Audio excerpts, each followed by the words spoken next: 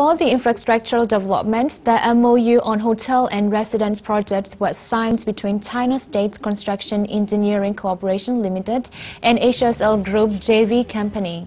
The five-year projects will be carried out on an 8.9-acre land plot in Tarmwe Township, and it will start this year and complete in 2019. Our aim is not only for the profit, but also for the company's image and to create a Yangon landmark and a new lifestyle for the city dwellers. We'll have a 70-year land lease.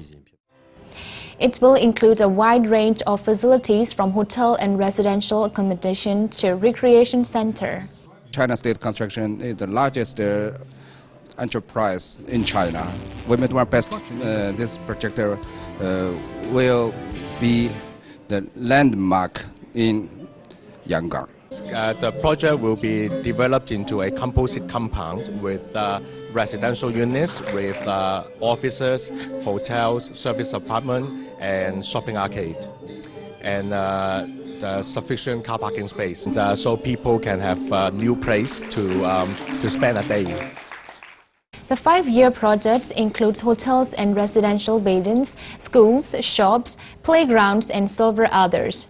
In the first phase of two and a half years, the highest buildings will be constructed in Yangon.